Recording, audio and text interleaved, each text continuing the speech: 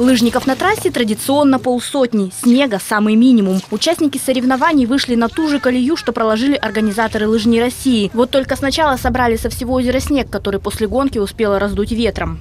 Трасса сделана один круг, снега мало, здесь всячески сгребаем, бы, подрыхляем, подсыпаем. Ждали, ждали до последнего.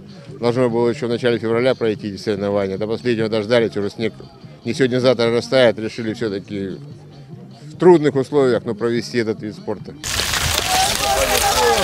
Трасса получилась в длину 2,5 километра. Женский зачет – один круг. Мужчинам до финиша озера нужно было обогнуть дважды. Пока лыжницы бегали свои километры, лыжники разминались. Валерию Котову 55. На лыжах он стоит всего два года. Но уже и профессиональную амуницию приобрел и за первое место всерьез побороться намерен. Заворожил меня этот коньковый ход, решил себя подтянуть физически.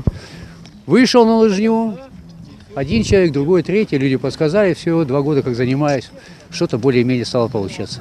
Кто-то говорит поздно, я говорю, нет, никогда не поздно. Когда мужчины вышли на старт, женщины уже финишировали. Первый круг завершила Татьяна Бутенко от команды образования. В прошлом чемпионка России по лыжным гонкам. Трасса хорошая, скоростная трасса, это хорошее скольжение. Хорошо едут лыжи. Можно раскатиться, можно прокатиться в удовольствие. Ну и нагрузка не такая, как, допустим, по горам, когда ты бегаешь. Но первое место ее команде эта победа не обеспечила. Они стали вторыми. Первое и третье места заняли команды здравоохранения и городских поликлиник. Впрочем, лыжная гонка – это лишь начало. Впереди еще семь зачетов по теннису, плаванию, футболу, баскетболу и даже стрельбе из лука. Итоги общих командных зачетов подведут лишь в конце мая.